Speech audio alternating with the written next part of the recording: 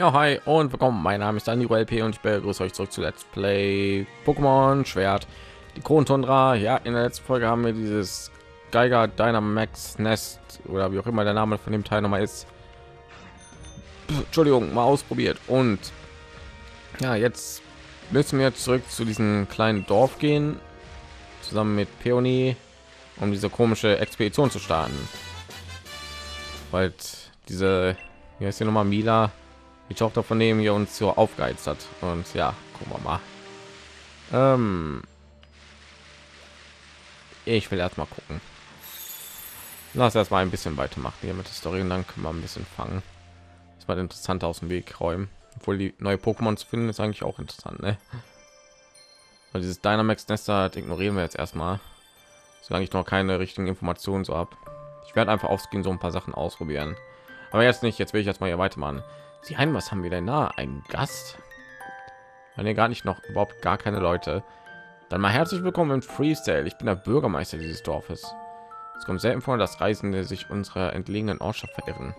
Dies wird etwa auch hier, um mehr über den König der reichen Ernte zu erfahren. Nein. Oh, ich bitte um Verzeihung. Das geht mich natürlich nichts an. Wie unhöflich von mir. Es ist nur so, dass es kaum jemanden gibt, der Freestyle aus einem anderen Grund besucht. Ein Jahr mal ist es schon. Die Leute kommen deswegen von so weit her, um am Ende muss ich Ihnen sagen, dass es sich dabei nur um ein Märchen handelt. Das ich dir wenigstens diese Souvenir aus Freestyle geben, damit du nicht mit leeren Händen gehen musst. Ich bin noch gar nicht deswegen gekommen. Und krank Pullover, Souvenir aus Freestyle erhalten. Das ist ein Pullover mit einem Aufdruck des Königs der reichen Ernte. Der hatte sich nicht so gut verkauft wie erhofft. Daher haben wir einige Exemplare übrig. Das abgebildete Aussehen des Königs basiert auf uralten Beschreibungen. Deshalb ist der Kopf so ungewöhnlich groß. Vielleicht macht das ja sogar wieder modern. Wenn du wissen möchtest, wie der König wirklich ausgesehen hat, sollst du einen Blick auf die Statue im Zentrum der Stadt werfen. Übrigens kannst du während deines Aufenthalts hier in den Schneeland des Pokémon an der Spitze deines Teams aus seinen Pokéball holen und mit ihnen spazieren gehen. Ja, das werden die bestimmt super mögen bei so einer verdammten Kälte. Also dann, ich wünsche dir noch einen schönen Aufenthalt in unseren mälerischen Örtchen. Hey. Hey. Danero hier drüben. Gott, ist der Typ peinlich. ich will nicht mit dem gesehen werden. Da bin ich genauso ein Freak wie der. So, auch dieser Flor ist wieder draußen. okay, wo kann ich mich noch mal umziehen? Ich will mal diesen Kragenpullover gucken, wie der aussieht. Och, hallo Sanja. Habe schon letztens irgendwie so, wo man sich noch mal umziehen kann. Ich nehme mal hier drin ist das, ne? Du gehst mir glaube ich schon irgendwie so eine Klamotte irgendwann, ne? Das weiß ich noch. Man hat schon Bilder und so davon gesehen, glaube ich, in den Trailern. So, ich glaube, jetzt kriegen auch so eine Klamotte wie der, ne? Ah, da bist du ja. Söte wird unsere Unterkunft sein. Für manche mag sie etwas öde wirken.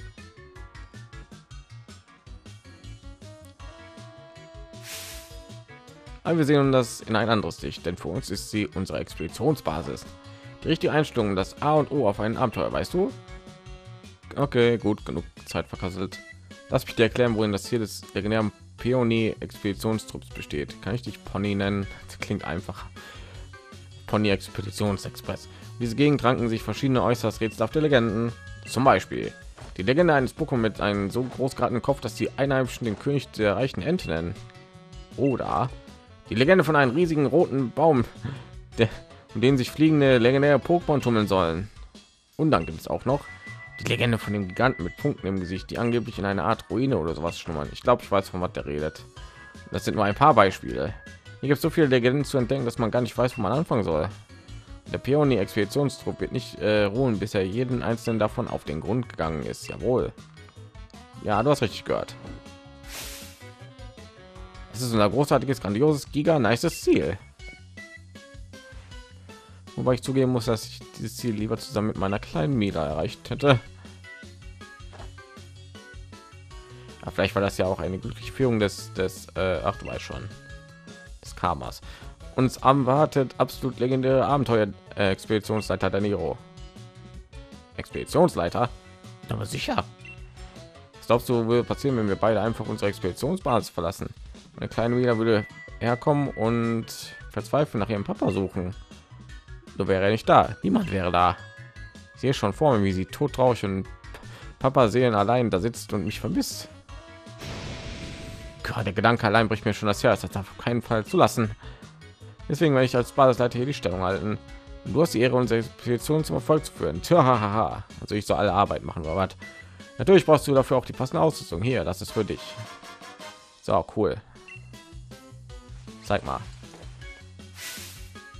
Oh. Ja. Yeah.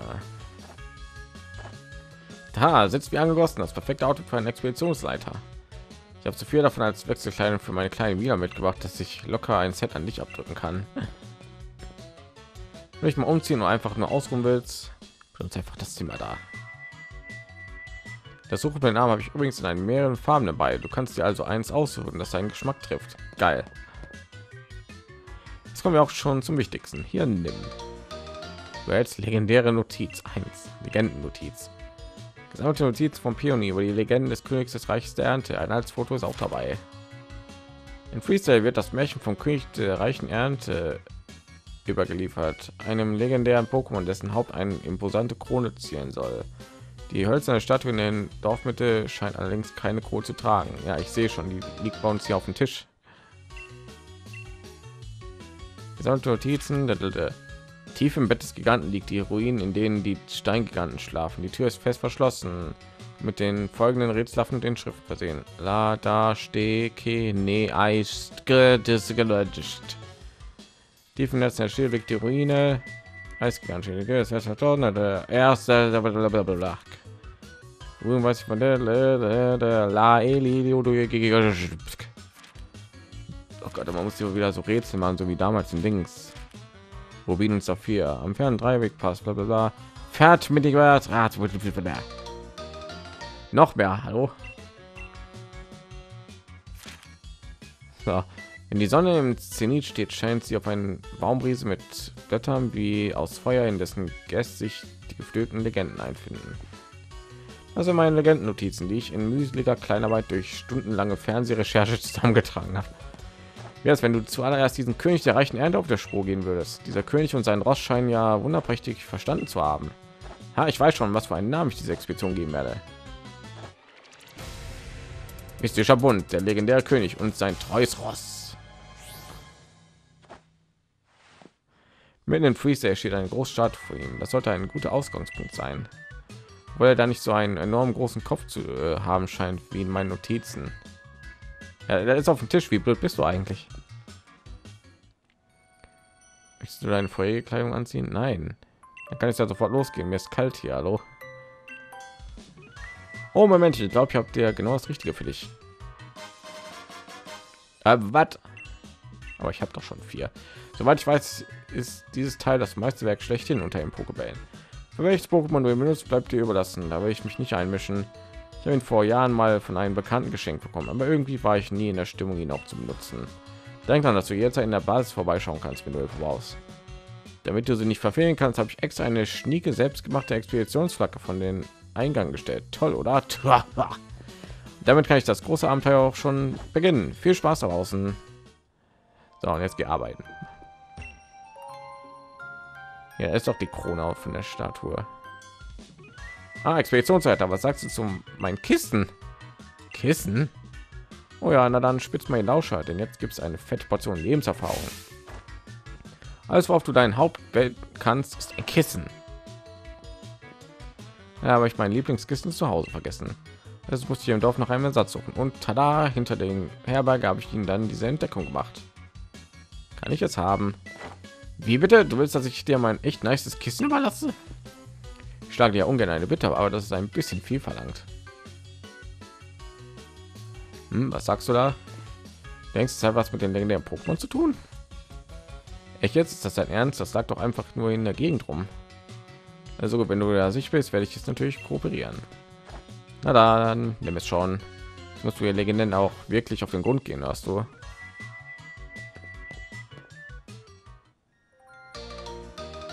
Holzkrone. Eine rätselhafte Holzschnitzerei, die aus der Zeit von etwas abgebrochen. Ja, ganz offensichtlich. Ey. Ich weiß doch, wie das legendäre Pokémon aussieht.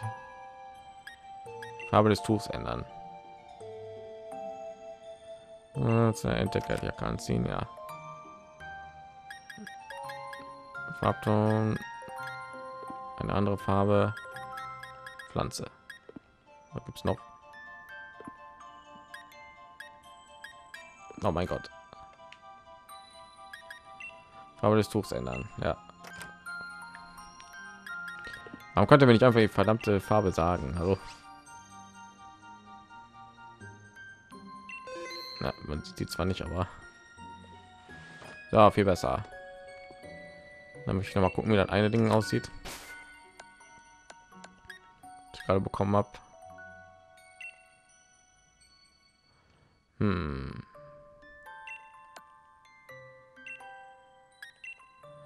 Und da kann ich auch noch was anziehen. Ja, vor allem ja bekommt man schon irgendwie so einen Hinweis, ne, wie die Statue ausgesehen hat. So offensichtlich. So, wo ist mein Champ? Oberteil. Zieht man natürlich an und dann die Entdeckerjacke. So. Ich den Helm auch aufziehen? Eigentlich egal. Ich werde schon so ein bisschen angleichen so.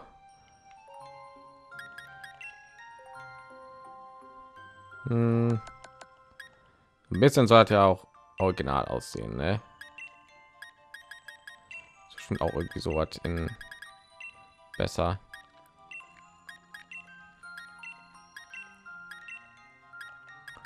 Sportschuhe, komm schon. Hm, ja.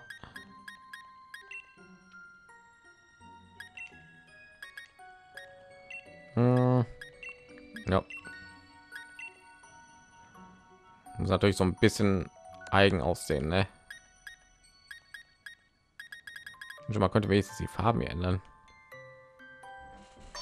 So, jetzt sehe ich wieder Wunderbärchen aus. Und ich würde sagen, der Rest des Parts fangen wir Pokémon, ne?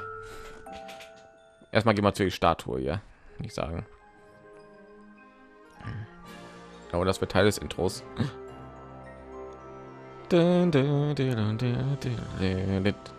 Weil ist das denn? Das ist, ach, da ist dieser Baum, ne? Okay, das ist schon mal gutes Material für das Intro.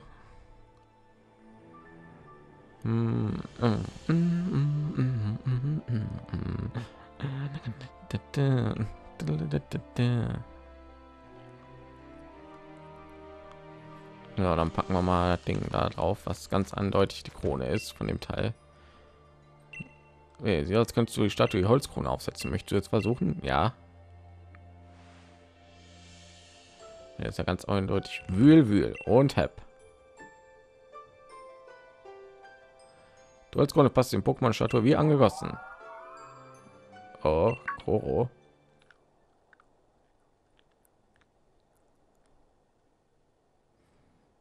Ah, guck mal.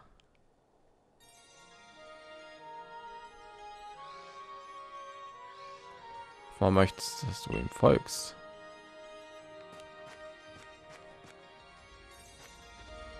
Du willst mich doch nicht jetzt. Du willst doch bestimmt nicht zulassen, dass ich dich direkt fangen kann, oder? Hi.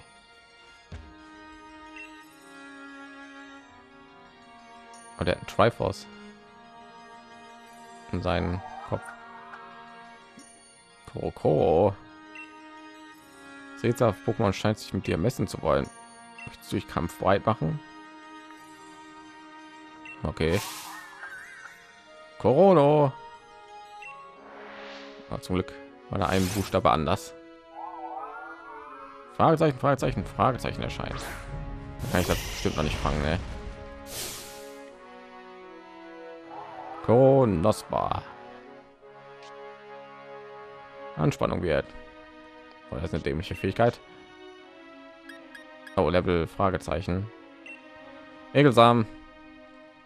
Oh Gott. Natürlich Psychokinese. Hat keine Wirkung. Ja, super. Das hat Pflanzen dann. Schon voll die mächtige Musik. Ich nehme an, natürlich ist Pflanze, aber ich versuche trotzdem mal Gigasauger. Was? Okay, ist definitiv Pflanze.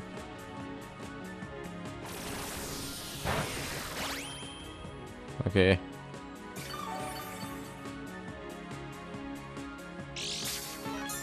Gut, deswegen hat auch Egelsamen nicht funktioniert. Manchmal steht da auch, das hat nicht funktioniert. Das hat keine Wirkung, wenn er verfehlt hat oder so, ne? Brax fragt mich schon wieder. Muss mal einige Kämpfe überleben. Oh wow. Aber vielleicht war es Fee und Pflanze. Ich hoffe jetzt mal, dass ich das ich nicht fangen konnte, ne? Ko, Kono, Nospa, Nospa. Äh, wer bist du? Nospa Koroko. No Nospa Konos. Nos Nospa. Ja, es geht denn ja. Was ist das denn für ein Krach? Ach, du warst das Expeditionsleiter. Hast du einen Pokémon-Kampf ausgetragen? Äh, was ist das denn für eine Riesenbirne? Kronos Nospa. Was? Wug. Was?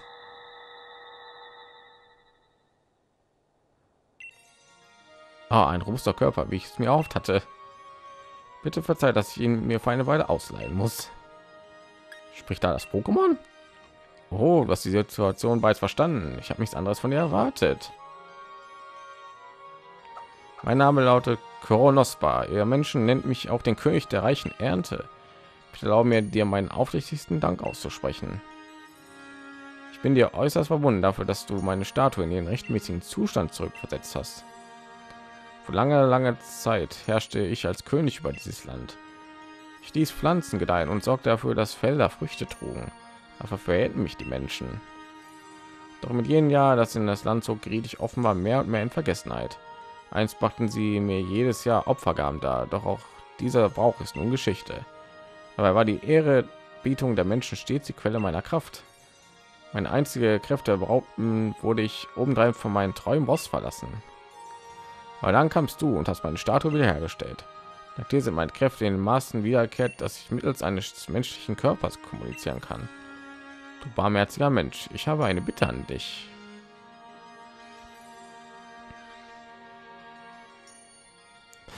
Muss herausfinden, ob die Menschen mich wirklich vergessen haben. Der erkundige dich bei den Dorfbewohnern danach, ob sie sich noch an mich erinnern. Ich habe ja schon selbst versucht, aber leider ohne Erfolg. Man hielt mich entweder für einen Hochstapler oder nahm panisch von mir raus aus. Reiß aus. Der hilft mir, Menschenkind. Du könntest auch einfach vor denen erscheinen und äh, nachdem ich die Statue des Königs der reichen Ernte Krone aufgesetzt hat, tauchte Koronospa auf. So nahmen die Kontrolle über Pionis Körper, um die Sprache der Menschen sprechen zu können. Jeder sollte sich äh, mich bei den Dorfbewohnern über den König der reichen Ernte schlau machen. Also du könntest dich auch einfach vor denen zeigen oder so, ne? Aber okay. Meinetwegen. Hey. Du noch mehr. Leo Leo, so eine schöne Ware mit meinen findest im Freestyle. Oh, Pokebälle. Die brauche ich ehrlich gesagt. Habe schon ja vergessen, jetzt zwischen den Aufnahmen zu kaufen. So, gut, ihr. Oh, tut mir leid, ich habe gerade leider keine Zeit. Ich bin schwer beschäftigt, Löcher in die Luft zu starren. So wie dazu. Herzlich willkommen in Free Sale. Du hast sicher einige Strapazen auf dich nehmen müssen, um mir zu gelangen. Die Kronensteine sind bekannt für ihre Karotten, musst du wissen. Vielleicht Verwendung für ein paar Karottensamen, quasi als kleines Souvenir. Ja, warum nicht? Oder ist jemand sehr enthusiastisch? Es sind zwar nur Samen, aber die sind sehr wertvoll, weißt du? Das ist einen Handel daraus bauen. Wenn du mir acht Brocken deiner Erz gibst, gehören sie dir. Wolltest du mich gerade schenken, du Abzocker, du? Der König der reichen Ernte. Früher habe ich geglaubt, dass es ihn wirklich gibt. Man hat uns immer erzählt, dass uns ein, einen holen kommt, wenn man draußen auf den Feldern Schabernack treibt. Das Königs-Pokémon. Mein Großmutter hat mir früher Geschichten davon erzählt. Das waren alles uralte Bärchen. No. No. der beiden. Okay. Ja, der Bürgermeister hat ja schon gesagt, der denkt, da ist ein Märchen. Ich mich an den König der reichen Ernte erinnere, aber natürlich. Er schließlich das Aushängeschild von Freestyle. Ach, wenn er uns doch nur wirklich mit seiner Anwesenheit beehren würde, da könnten wir von uns vor Tourismus bestimmt gar nicht mehr retten. Ja, wa äh, warum macht er nicht, ne? Der König der reichen Ernte? Also wenn es den Weg gibt, soll der mal was wegen der unfruchtbaren Boden Unternehmen. Was sich bei den Bewohnern fließt über den König der reichen Ernte erkundigt. Jetzt Zeit, Coronas Bericht zu erstatten. Mein Gott, das ist voll gefährlich, ja, ey. sind voll nah. Und da ist ein Pokéball hinter. Komme ich dahin? Auf. Äh, nee, lieber nicht. Ich möchte jetzt hier nicht in den Kampf eingehen. Rip. Hi. Sei gegrüßt, Menschenkind. Du hast also mit den Dorfbewohnern über mich gesprochen, ja? Roland, erstatte mir Bericht. Haben die Menschen etwas über mich erzählt? Sie hat nicht für eine Märchenfigur. Ich hatte es nicht anders erwartet. Sie glauben nicht einmal sehr mehr, dass es mich überhaupt gibt. Ich meine gerade, der drei, zwei Triforces in sich, einmal innen, einmal außen. Verblichen ist die Erinnerung an das Band, das eins zwischen uns existierte. Oh, aber denke nicht, dass ich meinen Erinnerungen nachtrauere. Schließlich bin ich niemand geringeres als der König der reichen Ernte. Ich wäre ein Narr, würde ich meine Hoffnung auf die Wankelmut der Menschen setzen. Ich bin nicht auf ihren Glauben angewiesen, um meine Macht zurückzugewinnen. Wenn mein treues Ross erst wieder an meiner Seite weilt, sollte ich imstande sein, zumindest einen Teil meiner alten Stärke wieder zu gelangen. Dein treues Ross? Ja, ein stolzes Pokémon auf vier flinken Beinen, das mich auf seinen Rücken trug. Statue im Dorf zeigt mich rittlings auf ihn. Vor langer Zeit glaubierten wir gemeinsam über die Berge und Felder des Landes. Doch als meine Stärke verschwand, trennte sich unsere Wege. Seit derzeitiger Aufenthaltsort ist mir gänzlich unbekannt. Doch selbst wenn wir mein treues Ross aufspüren, fürchte ich, dass es mich in diesem geschwächten Zustand nicht mehr als sein Reiter anerkennen wird. Nun wie dem auch sei, es geht gutmütig, dass man im Dorf das ein oder andere über meinen treues Ross zu berichten weiß. Ich wäre dir sehr verwundert, wenn du dich beim Bürgermeister diesbezüglich erkunden könntest. Sollte etwas zu Ohren kommen, was mir weiterhelfen können, so lass mich bitte wissen. Der Hut fliegt einfach zurück. Wow. Wow. Nanu, was ist mit deinen überdimensionalen Bieren passiert? Sieht ja ganz normal aus. Wow, tut mir echt leid, ich muss im Stehen eingeschlafen sein. Aber irgendwie fühle ich meinen ganzen Körper, fühlt sich mein ganzer Körper so seltsam an. Ich gehe lieber in unserer Expeditionsbasis und ruhe mich aus. Hier ist es mir sowieso viel zu kalt. Boah. Der Typ. So, Bürgermeister. Der Bürgermeister ist gar nicht da. Wollte mich auf den Arm nehmen. Er wollte sich auf Felder beim Bett des, des Bett des Giganten ansehen. Wenn es dringend ist, sollst du am besten dort nach ihm suchen. Felder beim Bett des Giganten liegen südöstlich von Freestyle. Oh, hallo, da ist ja gar kein Schnee mehr. Okay, das Phosphor und halte ich dann immer links. Alles klar, meine Damen. So. Haha. Oh. Das sind Zwiebel, ne? Irgendwas Neues, irgendwas Neues. Du komm mal her. Kannst euch die ganze Zeit an mir vorbeilaufen, ohne ich dich mal irgendwann fange. Hallo? Deinen vielen Erfahrungspunkten und so. Äh, keine Ahnung, das hat bestimmt hohe Spezialverteidigung, ne? Ja. So, eigentlich nicht. Oh, Risikoteckel, ehrlich. So, ich habe jetzt wieder Pokebälle. Jetzt kann jetzt viel, viel werfen. Ich nehme an, dieses Königs-Pokémon ist sozusagen das, was dieses Bären-Pokémon ist aus. Ich weiß gar nicht den Namen von dem, weil ich den direkt umbenannt habe. Das ist allgemein so ein Problem. Ich kenne die meisten Namen gar nicht von dem Pokémon aus Schwert und Schild, weil ich den alle umbenannt habe. So, oh doch, dieses Pokémon fügt über ein außerordentlich gutes Gehör. Es kann sogar das Kullern eines Kiesels aus zwei Kilometer Entfernung vornehmen. Okay. So, neues Gebiet, neue Pokémon. Nidoran. Roadkill. Ich will einen Nido King haben. Okay, ähm, ja, Erdkräfte haut das Ding wahrscheinlich voll weg. Deswegen Gigasauger. Wow, sogar das hat den beinahe platt gemacht. Bringt nichts. Haha, ich bin Gift, bringt nichts. Aber super Wurf. Danke.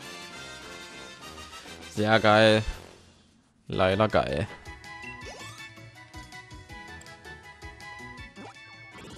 Okay, cool. Das Horn auf seiner Stirn erhält ein starkes Gift. Dieses Pokémon ist sehr vorsichtig und stellt seinen großen Ohren stets wachsam auf. Lass mich raten, den Schild kriegt man weibliche Version von Nidoran, ne? Würde ich mich jetzt hier, würde ich jetzt mal so raten. Bronzong, das haben wir schon. Olonga haben wir auch schon. So viel zu meiner Theorie. Das ist schon ein weibliches, das ist ein Nidorina. Also ja, dazu was haben wir hier noch? Bist du? Ach du bist dieses, dieses knilch viech imp pokémon keine ahnung was war das? Das war der elefant von die Ranaja, glaube ich. Oh. ich will ja noch aus danke. Erstmal hier noch so erkunden. Ich finde ich aber geil ich bin wieder top beleber ist ja mal richtig geil Beep, beep, beep. Hallöchen, ich bin's Peony. Wie geht's? Wie steht's? Sagst du, du hast eine rätselhafte alte Ruine gefunden? Wenn das nicht einer dieser Orte ist, an denen sich so ein Gigant aus den Legenden rumtreibt, fress ich ihnen Besen. Wie? Das Tor ist aber verschlossen und hat eine rätselhafte Nachricht angewählt. Woher soll ich denn das wissen? Ich bin noch nicht mal da. Scheint nach einer passenden Titel für die Expedition. Aufregende Entdeckung, legendäre Giganten und verschlossene Tore. Nein, war Genie Geniestreich, oder? Na schön, Expeditionszeit, dann mach dich mal ins Werk und zeig, was du kannst.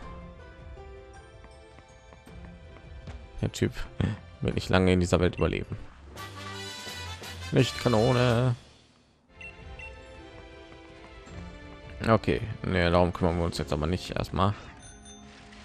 Schaffen wir auch gar nicht mehr in diesem Part, glaube ich. Hey, Mimikyo. Die gab es früher noch, die gab noch in Pokémon Schild, glaube ich ist ja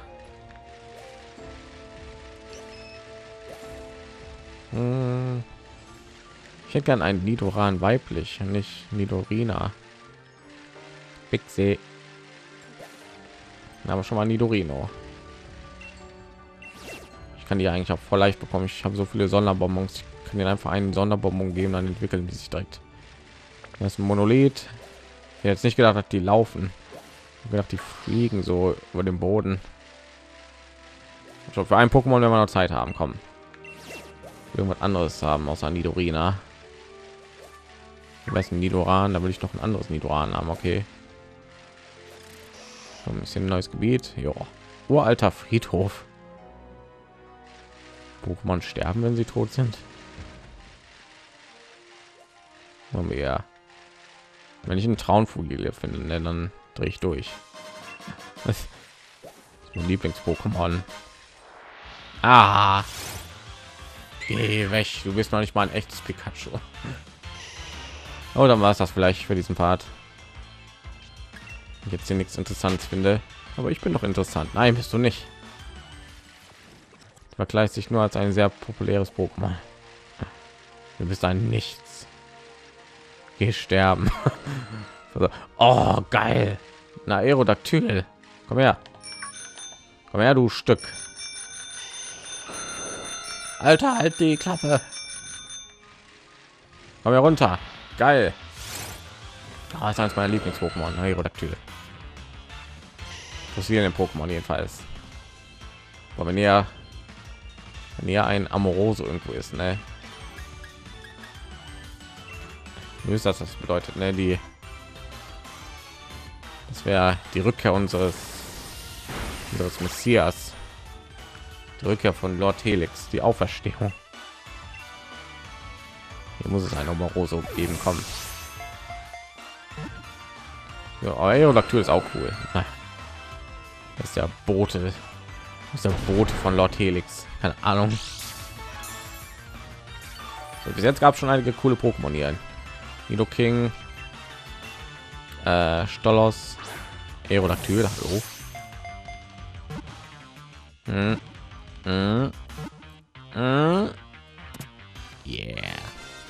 Klasse Aerodactyl wurde gefangen. Cool. Und Level. So, damit können wir den Part abschließen. Außer ich finde jetzt noch was Cooleres. Aber nein, lassen wir mal. Äh, selbst mit moderner Technologie scheint es unmöglich, ein perfektes Exemplar von diesen wilden urzeitlichen Pokémon zu reproduzieren. Was? Wie bitte? Was für kranke Sachen machen die? Gut, dann würde ich sagen, das war's für diese Folge. Ne? In der, ich wollte schon sagen, da ist jemand aufgetaucht. In der nächsten Folge schauen wir uns dann weiter ein bisschen um, machen vielleicht storymäßig irgendwas, keine Ahnung, ich bin mir noch nicht sicher. So Ikonen wurde übrigens ja nicht irgendwie, oh guck mal, wurde ja noch nicht verzeichnet. So, was ich mich jetzt die ganze Zeit frage, ist, konnte ich das Vieh schon fangen in diesem Kampf gerade? Ne, ich glaube nicht. Und sonst hätte ja diese Psychopflanze ist das okay. Das hätte ich diese Dings ja nicht machen können. Diese es wäre diese Cutscene ja nicht möglich gewesen. Ne? Jetzt mal einfach an, dass ich das nicht fangen konnte. Ne? Gut. Alles klar, sage ich Dankeschön für Zuschauen. Ich hoffe, euch hat der Bad gefallen. Wenn ja, hinterlasst bitte ein Like, ein Abo, ein Kommentar. Das würde mich sehr freuen, den Kanal weiterhelfen. Dann sehen wir uns in der nächsten Folge wieder. Tschüss.